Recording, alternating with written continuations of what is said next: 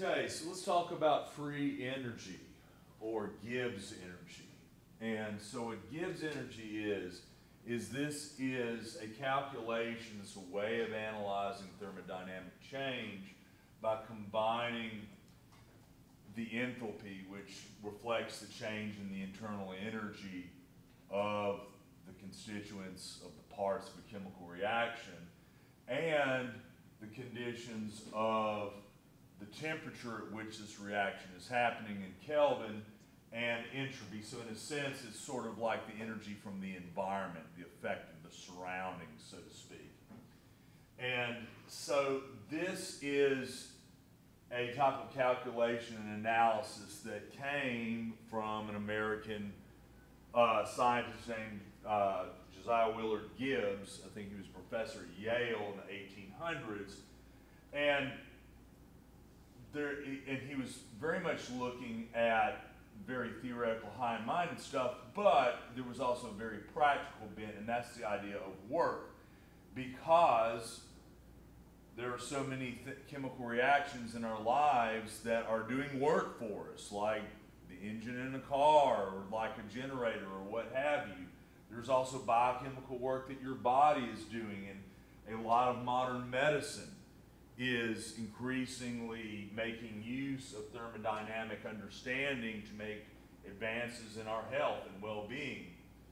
So a change in Gibbs free energy is the maximum amount of work that can be done by a closed fixed volume system. When we have a system where there's gases and the volume is changeable, that's known as PV work, and that kind of brings in some other factors as well. It also can have an application of helping a chemical engineer determine the temperature at which a reaction can spontaneously happen.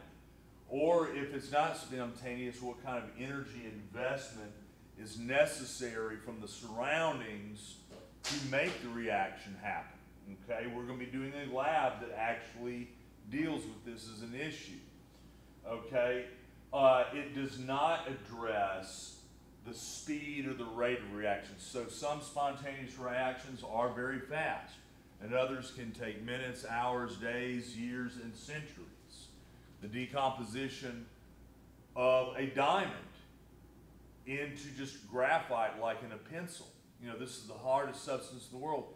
It is a spontaneous reaction, but it happens slowly in the thousands of years. We do not see a diamond turn into pencil graphite in our lifetimes. It's an extremely slow, slow process. So spontaneity does not address speed.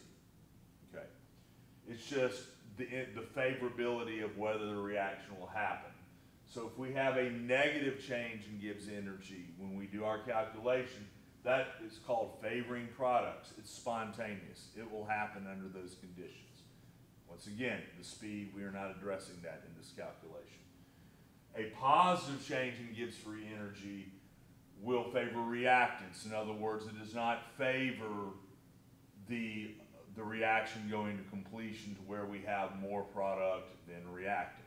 Okay, this is non-spontaneous. So it's just basically in the balance sheet. Are we going to have more product when we're over at equilibrium or are we going to have more reactant? When we're done. Equilibrium, we would just say at these, this temperature and pressure, it's done. That's what we mean by uh, equilibrium.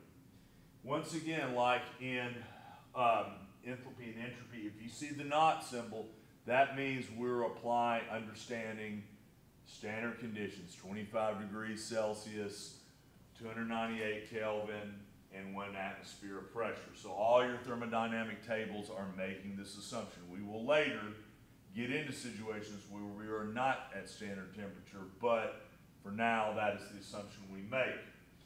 Um, we can also, if we have at our disposal thermodynamic tables that have worked out Gibbs for individual substances, like our other two, it's products minus reactants. So it's the same idea.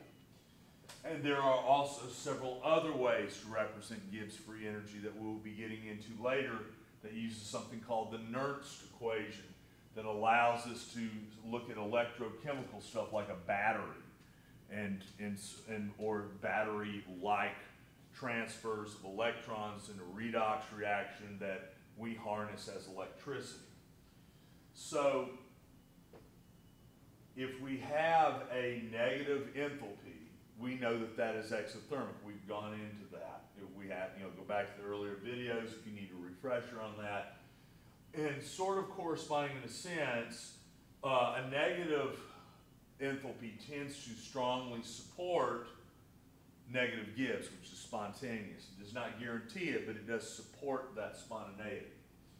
Also, if, however, a change in enthalpy is endothermic, it tends to support, you know, possibility that we're going to have a non-spontaneous reaction. That's a positive Gibbs. So this has actually been generalized along with entropy or the entropy, change in entropy times temperature expression in this little table that's in every single chemistry textbook you'll ever see. So generally, if we have a negative enthalpy and a positive entropy, we're gonna pretty much have a spontaneous reaction, it's negative Gibbs. If we have a positive enthalpy and a negative entropy, that is essentially a guarantee that almost any condition that we know of, that will not spontaneously happen. But then we have the gray areas. What if we have a negative enthalpy, if we have something that's exothermic, but the molecules are combining rather than expanding, you know, which would, um, and we, you know, sort of combine that with a positive value for T times S. It could go either way. It could be a positive or a negative Gibbs. It will be spontaneous if it's if the temperature is high. But if the temperature is low in this particular case, it will not be spontaneous.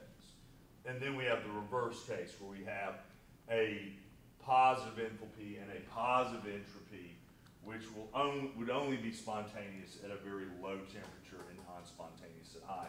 And you can, when we do these worked examples, you'll see how this all works out. This is useful to memorize. It is not absolutely essential, but it kind of makes life easier, and it also helps you catch mistakes. If you see, if you get an answer in a pro, Gibbs problem that is, you say is spontaneous, it's a positive Gibbs, and we have a negative enthalpy and a positive entropy, you probably flipped a, a symbol wrong. You probably put a positive where there's a negative or a plus where there's a minus. You probably made a mistake. So do th this is very helpful. So in closing on this particular lesson, once again, we are looking at the availability for a chemical change to do productive work, and this is what Gibbs energy basically tells us. Once again, it can be done, used for that, but it also, as we can see here, can perform many valuable other types of analysis in all kinds of fields, ranging from chemical engineering to biomedical to biochemical stuff. This is a huge field, it's a huge world to itself, and it does have very practical applications.